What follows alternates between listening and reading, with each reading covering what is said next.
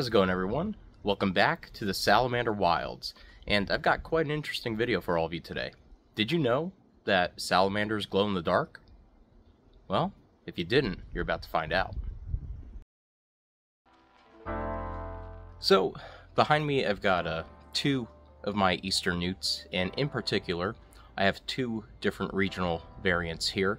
Um, just a quick shout out, I don't know if the subscriber uh, even watches the channel anymore. Um, he used to when the channel was uh, just starting out. And I was sent this uh, really beautiful eastern newt, the central newt. Let me just flip the camera here. So we could see um, the differences here. The eastern newt, viridescens, viridescens, uh, over to the right, and that is a male. You could tell by the swollen cloaca and that uh, tail fin going on, right? And you can also see by the black pads on the hind legs and toes, right? Those are used during amplexus. And then we have this, the central newt right here.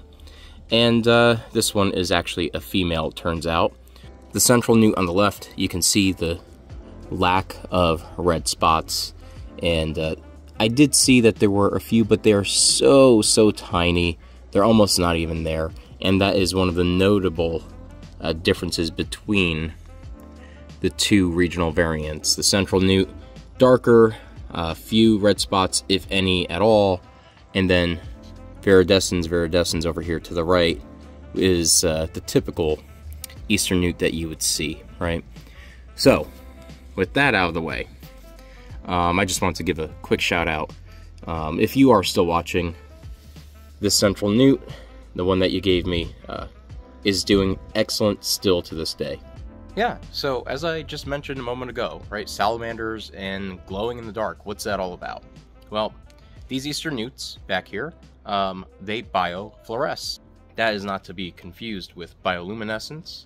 Uh, bioluminescence is more well known in deep sea fish, although there is biofluorescence down there as well. But the difference is bioluminescence is the organism creating its own light, right, within the cells of their body. Biofluorescence, you need a source light, an excitation light to shine on the organism, and they will fluoresce a light back. And, well, I have a kit right here to do just that. We have the Nightsea Xite Fluorescence Flashlight System, right? This is pretty cool. It was also very pricey, but I think this is going to be really well worth it. Um, we've got quite a few things here. So, we do have the excitation light, the flashlight that we're going to use, specifically blue light. Blue light actually works better than UV light, right? So that's what we have. We've got a little, um, you know, lens cover here to uh, protect the flashlight. Um, got a charger, right? This charges the rechargeable battery via USB. And uh, it's actually really neat. This little indicator up top is uh, actually surprisingly um, clear and vivid for something so small. I didn't expect it to light up the way that it does. So really cool stuff. Um, very helpful. And then another battery extra down there. And then we have the thing that's really going to make the magic happen here, right? The Nightsea bringing fluorescence to light. I mean, this is just really cool. Um, this is a pair of goggles, glasses if you want to call them that, right? So we have these goggles um, that are yellow. This is what we need to pair with the excitation light because we cannot see that fluoresced light with the visible eye this is going to filter all the other light so that we can see that uh, fluorescence back at us. So this is going to make the magic happen. Now, for all of this to work, um, these, both of these are paired specifically according to certain measurements, right? The blue light that comes from this um, is a specific wavelength, and uh, you know this long pass filter was made to match specifically with the wavelength of this flashlight. So, uh, you know, it, it, definitely took some research, um, and other information to figure out where to find these, but uh, this is the correct, um, you know, the, the correct light source and long pass filter to use. So we're going to check this out tonight. I'm going to make sure the room is completely dark. Uh, we want to make sure that all other excess white light, um, we don't want any contaminants. We want to see just the light that is being fluoresced back at us. So I will uh, start up the recording again in just a moment and see all of you later. Alright, so here we are. It is nighttime and I have set up the two newts in this little holding tank and uh, I am shining that blue uh, excitation source light on them right now. So as it stands, you really can't see any fluorescence, but that is why we have that um, long pass filter. This is what it looks like right now, but let's see what happens when I add that filter in front of the camera. What is fluorescing back at us right now? If we could get a clear shot. This is the central newt. And if you look very carefully, the spine, that is fluorescing at us right now because the bone is closer to the surface of the skin, so we can see that fluorescing actually quite nicely. Now, what about the eastern newt right here? Let's see if we could get a good reflection. See if we could get a good... Oh, look at that.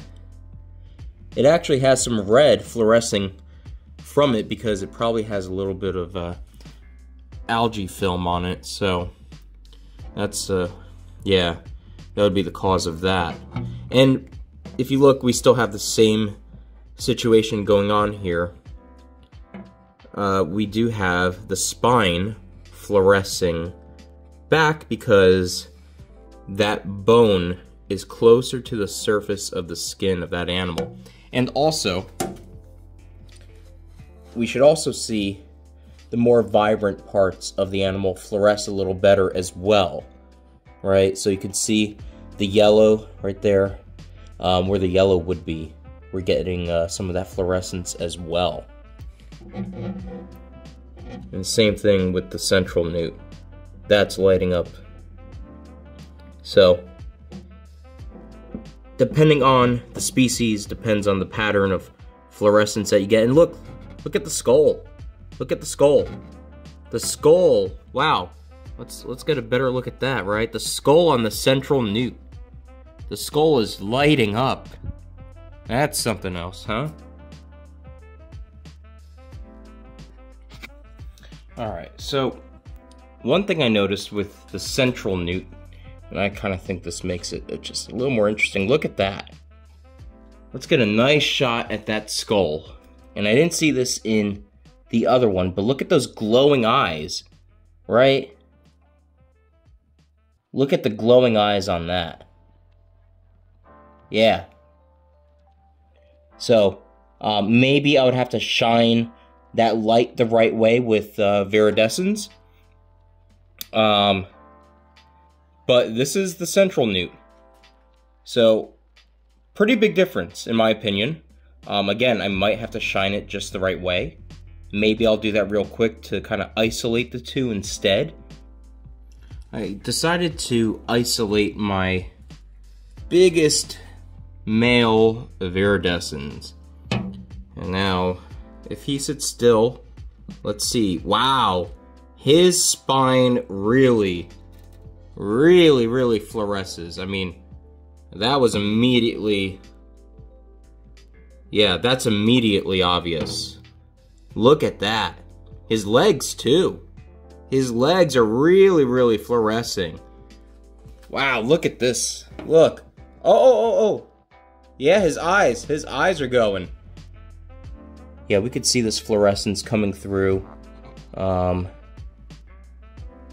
yeah, the eyes a little bit, but I, I'd say the eyes are most prominent in that central newt still.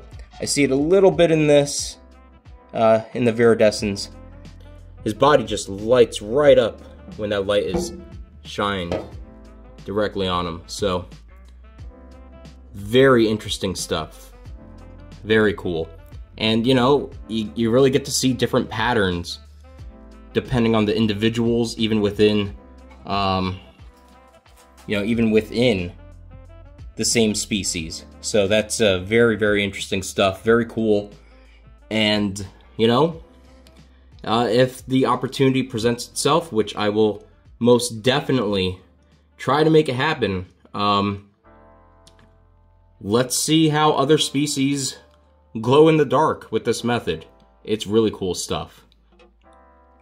Alright, so I'm going to wrap up the video here. If you all enjoyed the video, please remember to leave a like, share, comment down below. Please subscribe. Your support is always very much appreciated.